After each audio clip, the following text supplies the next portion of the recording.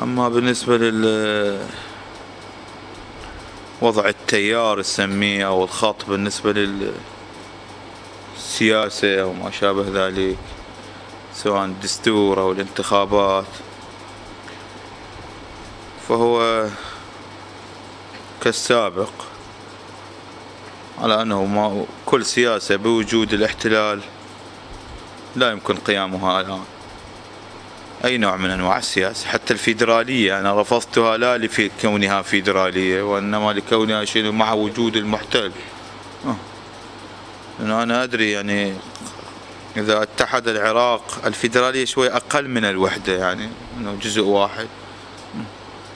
فكرة فكرة الفيدرالية إسلامية أصلا بالحقيقة. الخلافة هي نوع من أنواع الفيدرالية. لكن فيدرالية تقلل من قوة العراق ومع وجود المحتل شوية تكون بعد أشد ضعفا. فتجنب مثل هذه الأمور السياسية مع وجود المحتل أنا أشوفها أولى.